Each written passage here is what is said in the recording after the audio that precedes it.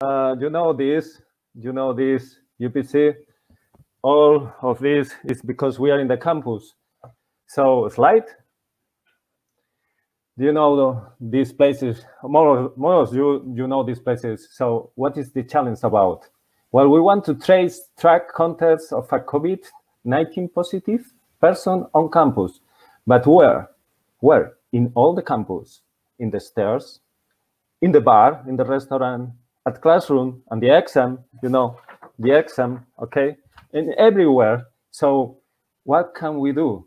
So slide. Okay, first of all, we should know what is a close contact. I should have said that before, but anyway, uh, in order to be a close contact, it depends on the week you know the you, you can listen the news, okay? But let's say that the the close contact for us is time, distance, two two hours meters, okay? So if you are in the middle of uh, uh, you have a lot of people around, you stay here two hours, you are speaking, shouting, or whatever, and you don't have mass as I, as I show you, uh, and it's past the time or it is close, then you say you are a close contact of these positive people. So what is going on? What we are doing at FIB?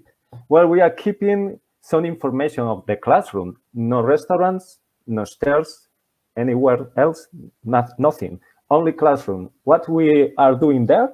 Okay, we are doing having information of chairs, table, room table, you know that. You have been passing, okay, you are here, you're here in the exam. Oh, come on, please, I want to do the exam. Yes, but you are here, and there may be errors. So should we look for another thing? Should we look for another method to be to be more fair? Okay, slide. So yes, sure that you can create something. I'm sure that you will be able to create something in order to, first, maybe just for taking care of what is your position in the matrix. You have a, there a classroom position, uh, rows, column, how is the best way to uh, obtain this information? I'm in the chairs, room one, uh, sorry, row one, uh, column one. Or maybe should we use something like, uh, I don't know, Bluetooth?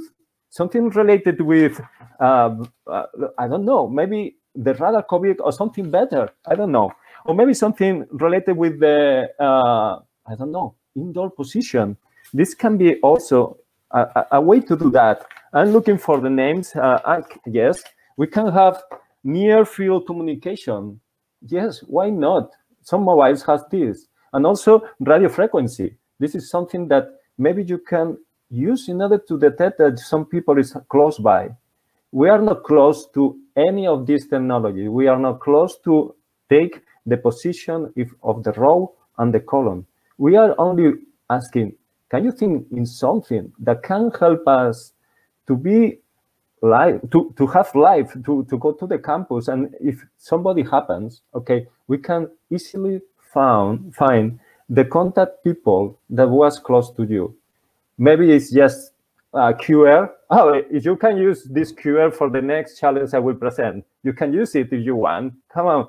Uh, but also, you can have labels in the in the table. But if there is a label in the table and the table can move, oh, we have a problem.